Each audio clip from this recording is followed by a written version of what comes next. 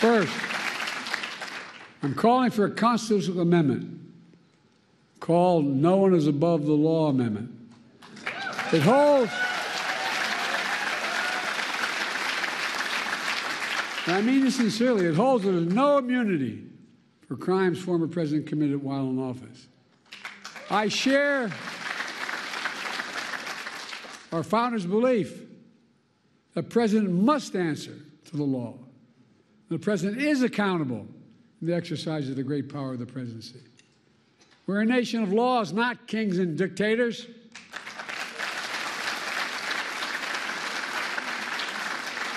The decision can be boiled down to the title of one case Trump versus the United States. The court asserted it was making a ruling for the ages.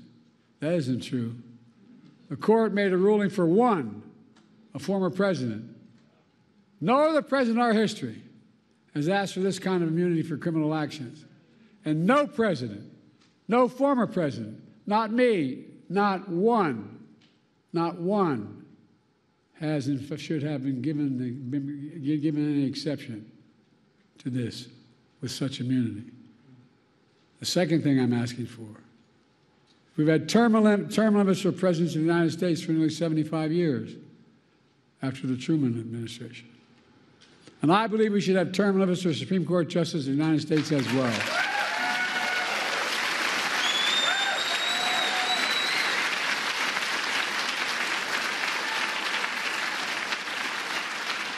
In fact, the United States is the only major constitutional democracy that gives lifetime seats in their high court.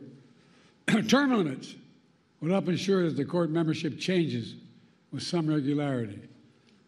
that would be make timing for the course nomination more predictable and less arbitrary. Reduce the chance that any single presidency imposes undue influence in generations to come. The bipartisan commission I convened analyzed various term limit structures. Based on their report, I believe the best structure is the 18 year term limit.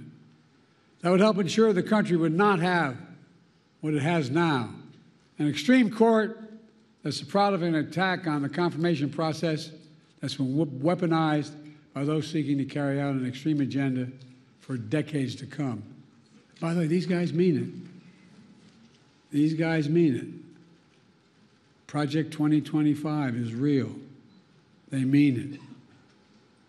Third, I'm calling for a binding code of conduct for the Supreme Court.